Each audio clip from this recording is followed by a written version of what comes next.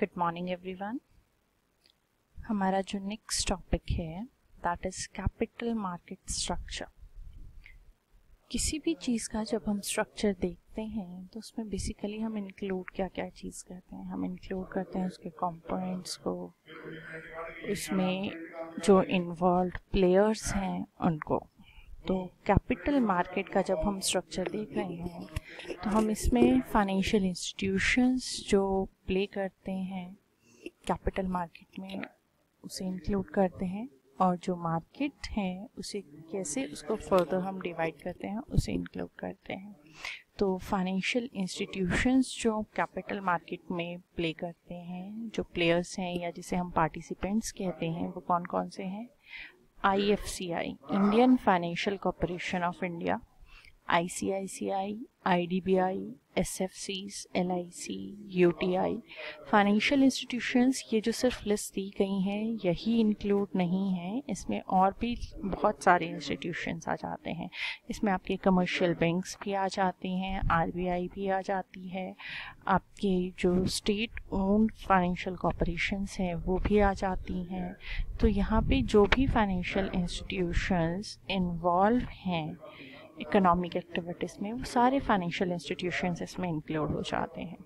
Next जब हम market के टाइप्स की बात कर रहे हैं तो जो सिक्योरिटीज़ मार्केट है, जो कैपिटल मार्केट है, उसे हम दो पार्ट्स में डिवाइड करते हैं। That is Gill edged market and corporate securities market जो गिल टेस्ट मार्केट है, वो गवर्नमेंट सिक्योरिटीज़ की मार्केट होती है। जबकि जो कॉपरेट सिक्योरिटीज़ मार्केट है, वो जो कॉपरेट जो कंपनीज़ सिक्योरिटीज इशू करती है, उसकी मार्केट है।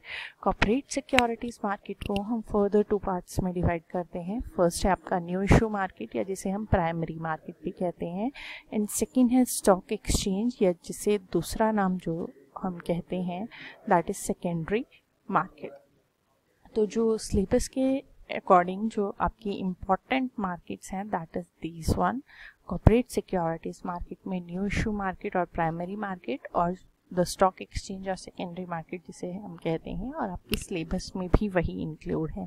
लेकिन स्टिल गिल्ट एच जो मार्केट है, उसके बारे में भी हमें पता होना चाहिए तो उसके बारे में भी हम थोड़ा सा यहाँ पे डिस्कस करेंगे। तो सबसे पहले हम डिस्कस करते हैं गिल्ट एज्ड मार्केट या जिसे हम गवर्नमेंट सिक्योरिटीज मार्केट कह रहे हैं, उसके बारे में। जैसे कि अभी मैंने बताया कि गिल्ट एज्ड मार्केट को हम क्या कहते हैं? Government securities market gilt edged का क्या मतलब है? क्यों गवर्नमेंट सिक्योरिटीज मार्केट को गिल्ड एज्ड मार्केट कहा जाता है? गिल्ट एज्ड का मतलब होता है रिस्क फ्री आप नॉर्मली अगर किसी भी लेमैन से पूछें या किसी भी पर्सन से पूछें कि कौन सी सिक्योरिटीज़ सेफ़ आप समझते हैं, होती हैं तो वो कहेगा कि गवर्नमेंट सिक्योरिटीज़ गवर्नमेंट सिक्योरिटीज़ को वो सेफ़ मानता है। तो जो गिल्ट एज्ड है, उसका मतलब है रिस्क फ्री सिक्योरिटीज़ तो जो मार्केट डील करती है गवर्नमेंट सिक्योरिटीज़ में या वो सिक्योरिटीज़ जिन्हें गारंटी करती है गवर्नमेंट उन्हें हम गिल्ट एज्ड मार्केट कहते हैं। क्यों? क्योंकि जो गवर्नमेंट सिक्योरिटीज़ होती हैं, वो रिस्क फ्री होती हैं, क्योंकि गवर्नमेंट कभी डिफ़ॉल्ट नहीं कर सकती है पेमेंट में। जो सेंट्रल गवर्नमेंट की सिक्योरिटीज़ होती हैं, आप जितनी भी financial institutions financial market financial services या जो हम फाइनेंशियल सिक्योरिटीज़ एसेट्स जो ये पूरा फाइनेंशियल सिस्टम की हम बात करें, इसमें जो भी सिक्योरिटीज़ डील कर रही हैं, उसमें जो सेंट्रल गवर्नमेंट की सिक्योरिटीज़ होती हैं, उसे सेफेस्ट कहा जाता है। और ये डेटेड सिक्योरिटीज़ होती हैं मतलब उसके ऊपर डेट मेंशन होती हैं कि कब उन्हें इशू किया गया है और कब ये मेच्योर होंगी और इन्हें ट्रेजरी बिल्स के नाम से भी जाना जाता है। गवर्नमेंट जो होती है स्टेट गवर्नमेंट्स जो होती है, वो भी इन सिक्योरिटीज़ को इशू करती हैं। और जो ये गिल टेस्ट मार्केट है, ये one of the oldest market है इंडिया में। पर्पस क्या है? नीड क्या है? गवर्नमेंट सिक्योरिटीज़ को इशू करने का। गवर्नमेंट को भी पैसा चाहिए होता है। गवर्नमेंट को पैसा किस लिए चाहिए होता है? जो फाइव ईयर प्लान्स गवर्नमेंट बनाती है, उसके लिए उसे पैसा चाहिए होता है। जो सिक्योरिटीज़ उसने ऑलरेडी इशू किए हैं, उसको वापस रीपे करने के लिए उसे पैसे की ज़रूरत होती है। तो जो पर्पस है गवर्नमेंट सिक्योरिटीज़ मार्केट का क्यों क्यों गवर्नमेंट सिक्योरिटीज़ इशू की जाती हैं, वो क्या है?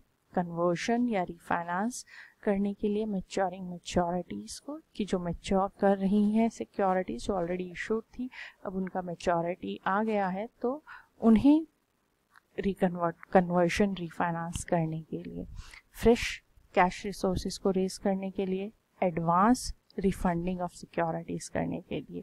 कई बार आप क्या करते हो, आपकी सिक्योरिटीज़ मैच्योर होनी होनी है एक साल बाद, लेकिन आप पहले से ही उसे मैच्योर करवा लेते हो। मैच्योर इन द सेंस कि आप एक साल का वेट नहीं कर रहे हो और आप उस सिक्योरिटीज़ को इन कैश करवा रहे हो। तो उसे हम एडवांस रिफंडिंग ऑफ़ सिक्योरिटीज़ कहते हैं। देन है करेक्टरिस्टिक्स क्या है गिल्ट एज सिक्योरिटीज़ मार्केट के? अभी जो भी हमने गवर्नमेंट सिक्योरिटीज़ मार्केट के बारे में पढ़ा वही जो पॉइंट्स हैं कैरेक्टरिस्टिक्स ऑफ़ गिल्ट एंड सिक्योरिटीज मार्केट में आ जाते हैं। तो पहला क्या है? सेंट्रल और स्टेट गवर्नमेंट्स इशू करती हैं इन सिक्योरिटीज़ को। Reserve Bank of India use करता है इन सिक्योरिटीज़ को मॉनिटरी कंट्रोल करने के लिए। ये सिक्योरिटीज़ जो होती हैं, उनके ऊपर फिक्स रेट ऑफ़ इंटरेस्ट आपको मिलता है और जो रेट ऑफ़ इंटरेस्ट होता है, वो जनरली लोअर होता है in comparison to other securities जो मार्केट में एग्जिस्ट कर रही हैं। जो गवर्नमेंट सिक्योरिटीज़ होती हैं नॉर्मली हंड्रेड और थाउज़ेंड के डिनोमिनेशन में इशू की जाती हैं या उनके मल्टीपल में इशू की जाती हैं।